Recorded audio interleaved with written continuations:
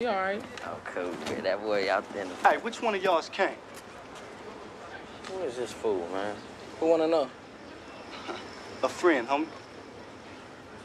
Uh, homie, I, hey, I don't think you know me.